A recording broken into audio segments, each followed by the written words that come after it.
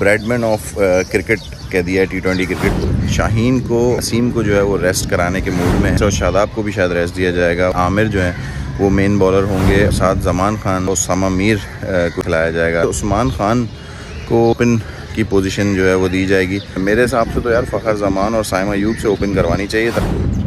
السلام علیکم دوستوں، میرا نام ہے جہانگیر اور آپ دیکھ رہے ہیں میرا یوٹیوب چینل تو جناب شاہین شاہ آفریدی نے تین ہزار رنز ہونے پہ رضوان کے ایک ٹویٹ کری ہے، جس میں انہوں نے ان کو بریڈ مین آف کرکٹ کہہ دیا ہے ٹی ٹوینٹی کرکٹ۔ تو اس پہ ایک طوفان بدتمیزی جو ہے وہ برپا ہوا ہوا ہے اور بہت زیادہ جو ہے وہ لوگ اعتراضات کر رہے ہیں اور کامنٹ جو ہیں وہ عجیب طریقے کے ہیں۔ انہوں نے بولا ہے cheers to Muhammad Rizwan the Bradman of T twenty cricket and Pakistan super man of hitting three thousand T twenty runs your impact has transform the game and silence the sceptics keep soaring champion you are an inspiration so many I am Rizwan کو انہوں نے tag بھی کیا.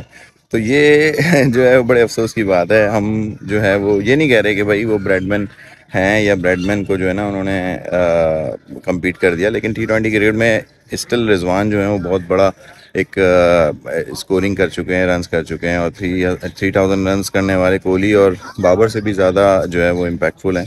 تو یہ سوچنا چاہیے کہ بھائی ایک بندہ اچھا کھیل رہا ہے تو اس کو انہوں نے اپریشیٹ کیا ہے، انہوں نے موٹیویٹ کیا ہے، بس اور کچھ اس سے زیادہ بات نہیں ہے۔ نیوز یہ ہے کہ پاکستان جو ہے وہ اب شاہین کو اور نسیم کو جو ہے وہ ریسٹ کرانے کے موڈ میں ہے اور جو پریکٹس سیشن ہوا ہے، اس میں صاف ظاہر ہے کہ عامر جو ہیں وہ مین بالر ہوں گے اور ابھی جو ہے ان کے ساتھ زمان خان کو چانس دیا جائے گا۔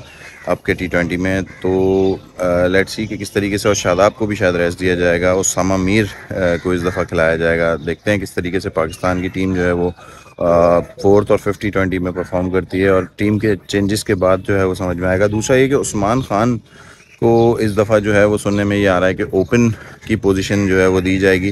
اور عثمان خان کو جب اوپن کی پوزیشن دیں گے تو پھر ان کا جو نمبر ہے ون ڈاؤن کا، اس کی جگہ پہ لگ رہا ہے کہ فخر زمان کو شاید چانس دیا جائے۔ میرے حساب سے تو یار فخر زمان اور سائمہ یوب سے اوپن کروانی چاہیے تاکہ آپ کا رن ریٹ جو ہے وہ شروع کے جو پانچ اوور اگر وہ لوگ دونوں کھیل گئے تو آپ کا اسکائی راکٹ ہو سکتا ہے۔ Run rate seventy five two hundred runs اگر آپ نے within five runs five overs کر دیے تو آپ کی جو ہے نا وہ بیٹنگ لائن سیٹ ہو جائے گی، آپ ٹو ہنڈریڈ رنز اسکور کر سکتے ہیں۔ اب جو ہونے والا ہے ٹی ٹوینٹی وہ ایکچولی تو لاہور میں ہوگا۔ اور لاہور میں جو ہے وہ بیٹنگ بالنگ دونوں کے لیے پچ سازگار ہوتی ہے۔ نارملی اسپن پچ بھی ہوتی ہے اور بیٹنگ کے لیے بھی ہوتی ہے۔ تو اب دیکھتے ہیں کس طریقے سے کیوریٹرز نے پچ تیار کی ہے۔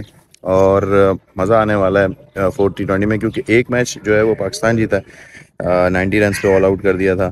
uh, ہم نے نیوزی لینڈ کی ٹیم کو اور دوسرا ہی انہوں نے ہم نے سات وکٹوں سے جیتا، انہوں نے بھی جو ہے نا ہمیں سات وکٹوں سے ہرایا۔ تو اب جو ہے نا بڑا ٹف میچ ہونے والا ہے، آنے والا میچ ڈیسائیڈ کرے گا کہ کس طریقے سے یہ سیریز جاری ہے۔ ون اور لوز ہو سکتا ہے پاکستان کے لیے۔ اگر یہ سیکنڈ میچ بھی نیوزی لینڈ جیت گئی تو پھر سیریز جو ہے وہ یا تو ڈرا کی طرف جائے گی یا پھر جو ہے نا پاکستان لوز بھی کر سکتا ہے۔